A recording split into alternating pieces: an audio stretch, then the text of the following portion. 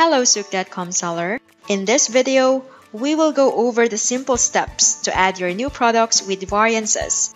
The catalog created will display options to choose color and sizes. Please be reminded that this option might not be available for some categories. So far, fashion and electronics can use this option, otherwise you need to upload each variances one by one. The process is easy. Just like simple item listing, go to Inventory tab, then Item Listing. Then search for the item you wanted to upload. A list of items matching with the keywords you type in will be displayed. Narrow the search using the filter on the left side. If the item is not existing on results, please click on Specify Your Own, then select or fill in the specifications requested. Since the item that you're trying to upload has color and size variances, you can insert multiple options.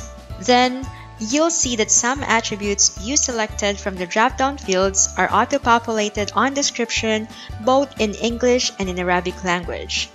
Take note that you can still add more bullets or paragraph if necessary.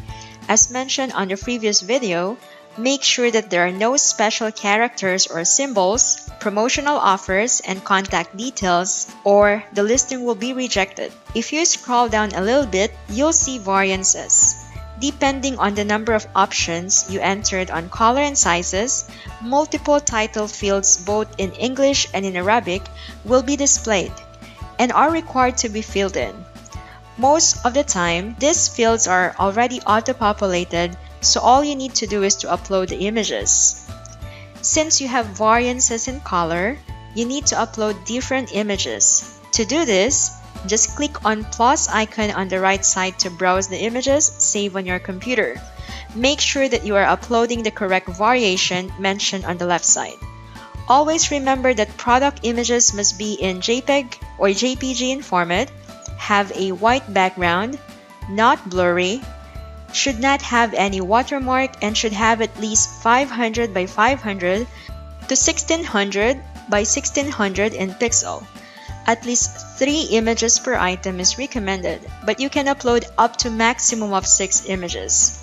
You may click on Apply to All to upload the same color or different size variants. Just repeat this process to different colors until all the images are uploaded.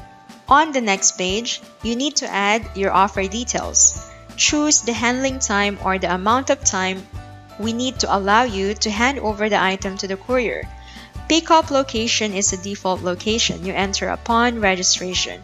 If you wish to edit this, click on username on top and select location. You can opt for free shipping and pay for shipping fee by selecting this box. This is optional. The default has no check. That means the buyer will be paying for the shipping fee. If you scroll down, you'll see multiple fields for quantity, price, SKU or stock keeping unit, and offer note depending on the number of variances. Just fill in these fields for variation.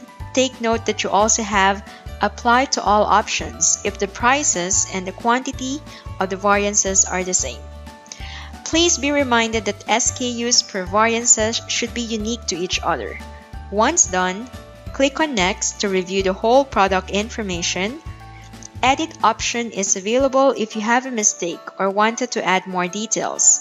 Then finally, click on Submit My Listing button.